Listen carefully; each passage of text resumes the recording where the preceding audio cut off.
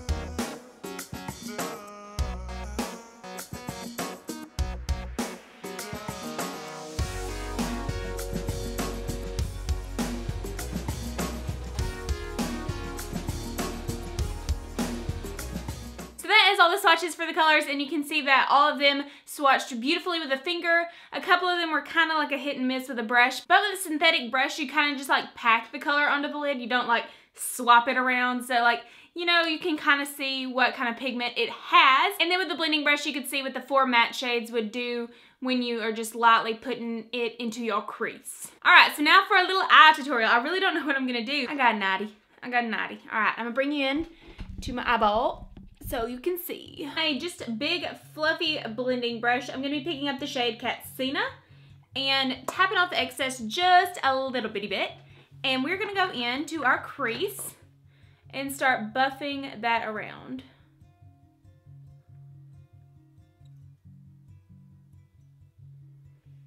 Just like that. Okay, so next I'm going to be taking the shade Jamila on a little goat hair blending brush. It's a, it's a lot smaller and we're just going to take this and start applying that to our crease and kind of down onto the lid.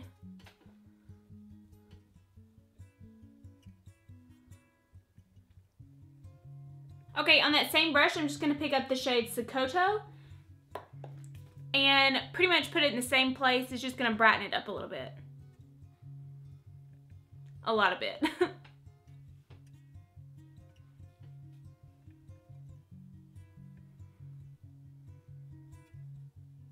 Now I'll be taking the shade Chad, which is just the black shade on a little pencil brush like this right here.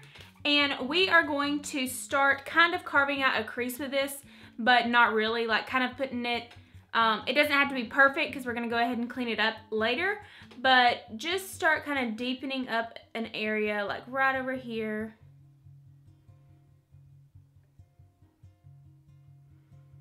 To where it looks something like this. And it might look a little scary right now, but we will fix it. Okay, so I'm going back in with that blending brush with no extra product, just whatever was left over on it, and just start kind of buffing out the black into the other shades.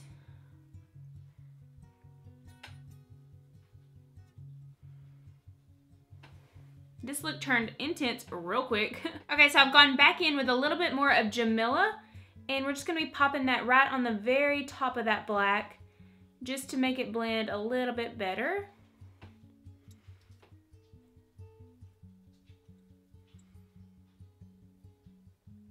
Okay, so while I'm still working with these colors, I'm just to go ahead and pick up the shade Katsina and Jamila together on an even little finer pencil brush. And we're just to run this on our lower lash line.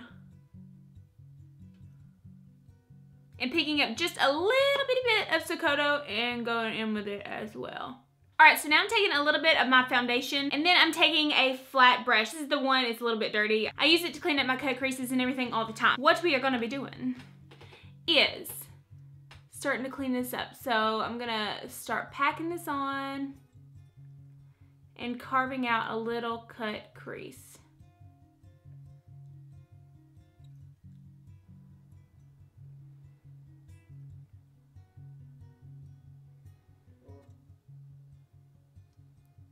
Don't have to be perfect, and mine literally never are, but we're just gonna leave it like this, and let's see, I'm trying to think which color I wanna go in with. All right, I think we're gonna go in with the shade Wodaabe, I think is how you pronounce it. Wodaabe, Wodaabe, I think it's Wodaabe. It's the nice pretty gold right here. So we are just going to get our brush nice and packed with color. And we are gonna go in and start packing this on all the area that we applied some concealer to.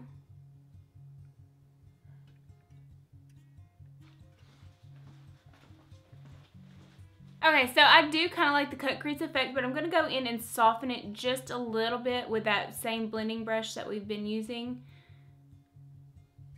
And then I'm just going to go in and add some more of that Chad right here on the outer corner, and I kind of want to make that a lot darker. Okay, so sorry my mic wasn't working right here for some reason, um, but all I did was go in and clean up those edges and I made them really nice and precise with some concealer first, and then I went in with a makeup pop remover and just cleaned up the edges and made them nice and sharp. You can leave it smoky, however you want to do it. Yeah, you can see I'm just cleaning up those edges there. And then I went in with just some eyeliner, the Kat Von D Tattoo Liner in Trooper, and some mascara, and then I think we're back on track. I'm sorry.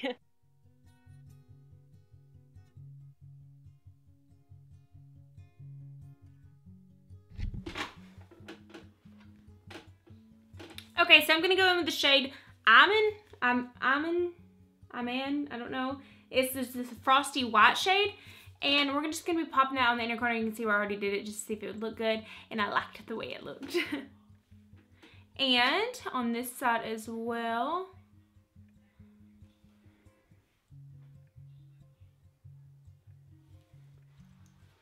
And then just a little bitty bit on our brow bone.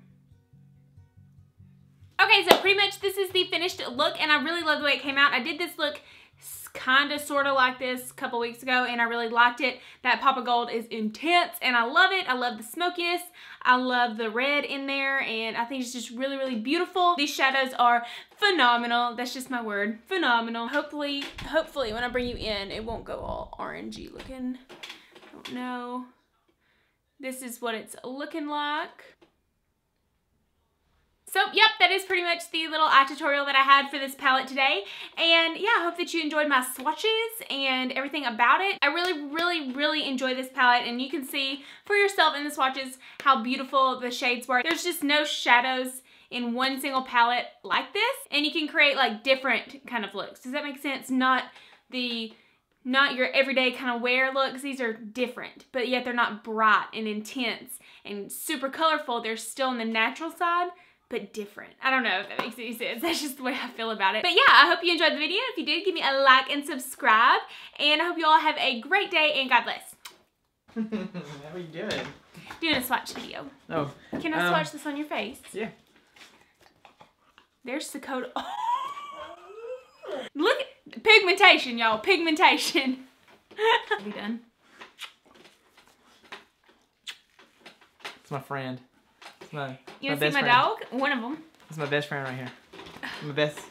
Oh, oh, somebody got jellies. Oh, hey, Vader. Hey, buddies. I know that you just love us so much.